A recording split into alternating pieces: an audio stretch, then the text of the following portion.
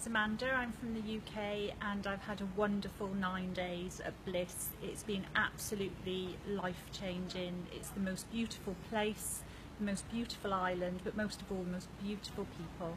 So, all I would say to all women out, out there is you need to come here if you're in need of physical healing, emotional healing, or just feeling good. Come here to appreciate gratitude and self love. The highlights were the bike tour and seeing the Balinese family in their in their compound. It was just so moving, and everybody was so friendly.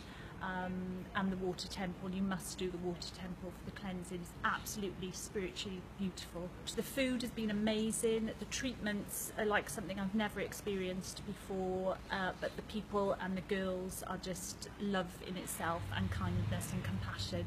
Wonderful. We're already planning to come back. We're coming back in, in two years' time when it's Anna's birthday. So we will be back and we can't wait to see everybody. I found more than my bliss. I found my nirvana. I would recommend it to everybody and I'd like to bring my daughter back here. She's 20 so I will be coming back again and again. It's just the most beautiful place.